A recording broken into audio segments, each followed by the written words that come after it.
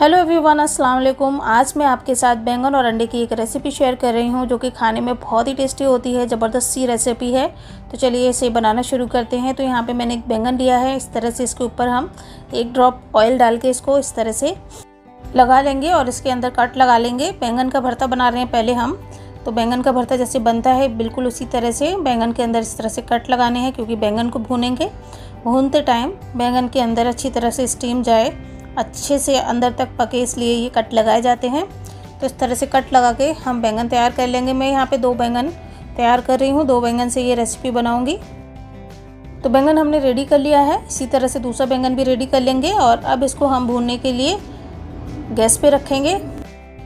बैंगन को भूनने के लिए इस तरह का जाली स्टैंड अगर आपके पास है तो बहुत अच्छे से बैंगन भुन जाएगा, नहीं तो डायरेक्ट फ्लेम के ऊपर भी आप इसे भून सकते हैं। घुमाते हुए चारों तरफ़ से हम इसको भून लेंगे और ये देखिए हमारा बैंगन भून के रेडी हो गया है। अब इसको हम हटा लेते हैं, दूसरा बैंगन भून लेंगे इसी तरह से। बैंगन हमारा भून चुका है, इसको निकाल लेते हैं और इसी तरह से हम दूसरा बैंगन भी भून के तैयार कर लेंगे। और इसी तरह से हम दो टमाटर भी भून लेंगे इसके साथ, क्योंकि हम टमाटर भी शामिल करेंगे इसमें।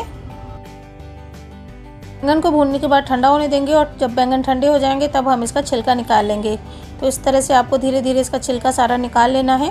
तो इसमें एक बहुत ही अच्छा सा स्मोकी फ्लेवर आता है, जो कि भुने हुए बैंगन के भरते में बहुत ही अच्छा लगता है। तो इसको हम इस तरह से धीरे धीरे निकाल लेते हैं स्किन को।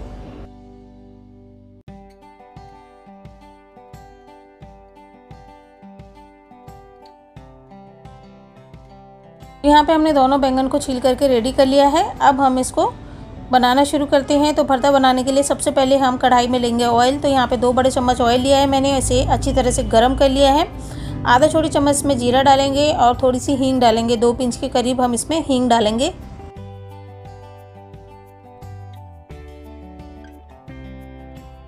डालने के बाद दो सूखी लाल मिर्च डालेंगे इसमें, और उसके बाद हम इसमें डालेंगे दो मीडियम साइज़ की प्याज, बारीक चॉप की हुई। प्याज को हम हल्का गोल्डन ब्राउन कर लेंगे। प्याज हमारी हल्की सी ब्राउन हो गई है। अब इसमें हम अदरक लहसुन का पेस्ट डालेंगे, एक छोटी चम्मच। और अदरक लहसुन के पेस्ट को भी हम दो मिनट के लिए भून लेंगे, जिससे इसका कच्चापन निकल जाएगा। और साथ में ही हम थोड़ा सा अदरक ग्रेट कर करके डाल देंगे इसमें। और दो हरी मिर्च बारीक चॉप करके वो ऐड कर लेंगे। तो यहाँ पे पहले मैंने हरी मिर्च ऐड कर ली है, और उसके बाद हम इसमें ग्रेट किया हुआ अदरक ऐड करेंगे। यहाँ पे हम आधे इंच का टुकड़ा अदरक का लेंगे और उसे कद्दूकस करके ऐड करेंगे। इससे इसका फ्लेवर बहुत अच्छा आता है। तो यहाँ पे ग्रेट करके हम अदरक ऐड कर लेंगे इसमें। अच्छी तरह से मिक्स करेंगे। एक मिनट के लिए इसे पका लेंगे और उसके बाद हम इसमें ऐड करेंगे एक अंडा। अंडे से इसमें बहुत ही ज़बरदस्त सा फ्लेवर आता है। आप एक बार अंडे को इस तरह से भरते के अंदर ज़रूर ट्राई करके देखें। तो एक अंडा इसमें तोड़ के हम डालेंगे। और इसको तुरंत ही हम चला लेंगे, चला के हम इसको थोड़ा सा पका लेंगे, यानी कि एक से दो मिनट हम इसे चलाते हुए पका लेंगे।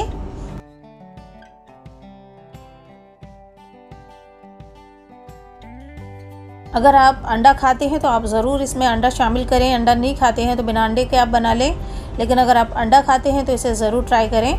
अब इसमें हम मसाले डाल रहे हैं, एक छोटी चम्मच लाल मिर्च का पाउडर।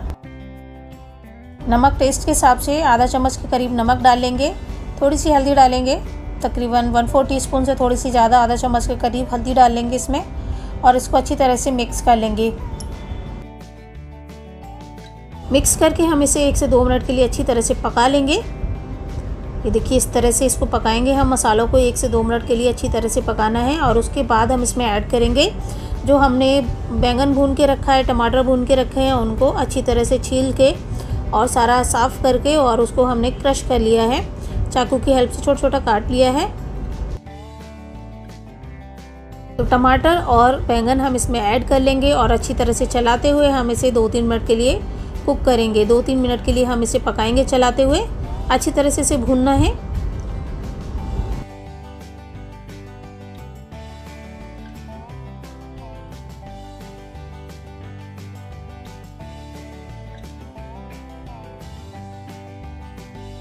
तीन मिनट अच्छी तरह से भूनने के बाद हम इसे ढक के पका लेंगे। दो तीन मिनट के लिए। दो मिनट के लिए मैंने इसे ढक के और पका लिया है। अब इसमें डालते हैं हम बारीक कटा हुआ हरा धनिया। हमारा ये बैंगन का भरता अंडे के साथ बन के रेडी है। बहुत ही टेस्टी ये भरता बनता है। आप इस रेसिपी को एक बार मेरे तरीके से ज़रूर ट्राई करें। आप इसे रोटी के साथ, पराठे के साथ सर्व करें। हरा धनिया डालने के बाद हमने इसे दो मिनट और ढक के रख दिया था। अब इसमें लास्ट में हम डालते हैं गरम मसाला पाउडर, आधा छोटी चम्मच और इसे भी अच्छी तरह से मिक्स करेंगे। मिक्स करने के बाद हम इसे दो मिनट के लिए ढक के छोड़ देंगे और दो मिनट बाद आप इसे डिश आउट कर सकते हैं। तो ये बहुत ही अच्छा सा हमारा बैंगन का भरता बन के रेडी हो गया है।